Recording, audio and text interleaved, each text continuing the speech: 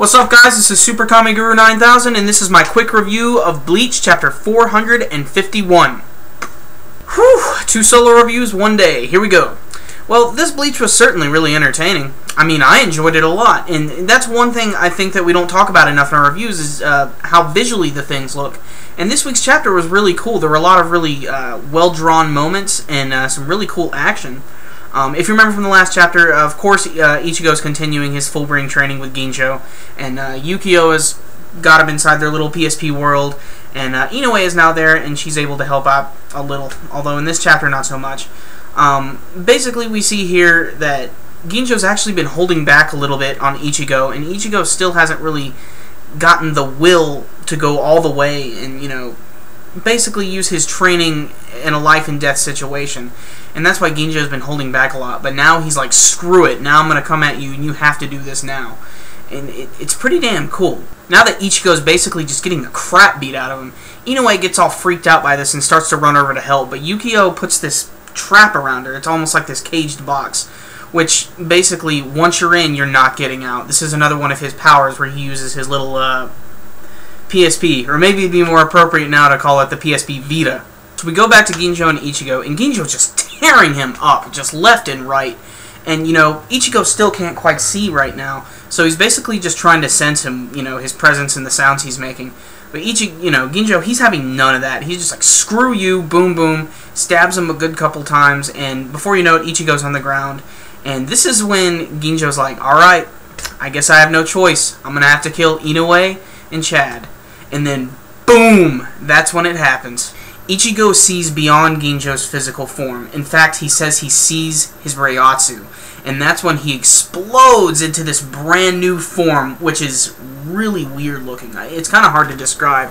It, basically looks like his uh, Shinigami robes, but there's these uh, white parts that come out from the middle and spread out all over the body. It, looks almost like a freaking symbiote-like thing from Spider-Man. It's, it's, it's, really weird. And there's actually some of it on his face as well. Um, this is another brand new form for Ichigo. I mean, he's had more forms than some of the characters in Dragon Ball Z at this point. But, you know, each one of them look pretty interesting, and this one is just as crazy.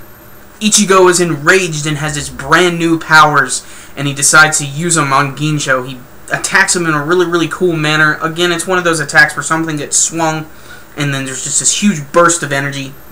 And he hits Ginjo point blank and just hits the crap out of him. But the good thing is, this is all part of the training.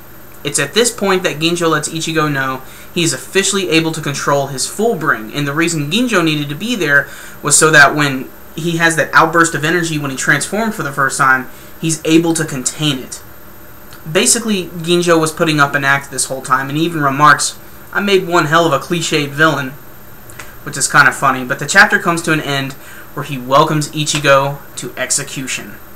Badass.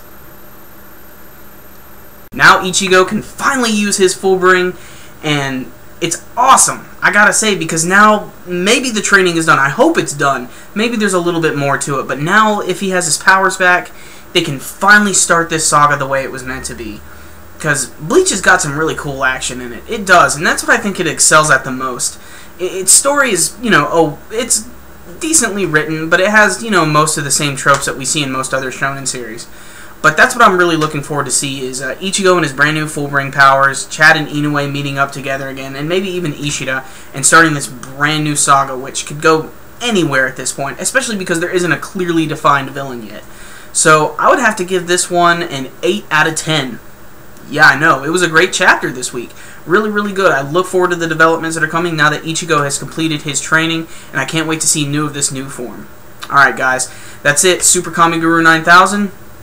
Out! Super Kami Guru. 9000!